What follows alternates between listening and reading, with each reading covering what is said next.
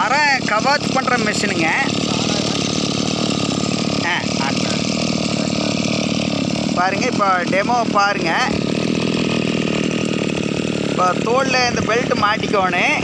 மாட்டிட்டு மரம் கிட்டத்தட்ட ஒரு பதினைந்து அடி உயரத்துக்கு உள்ள மர கிளைகளை வெட்டிடுதுங்க இப்போ வெட்டி போட்டிருக்கிற மரத்தை தான் நீங்கள் பார்க்குறீங்க பாருங்கள்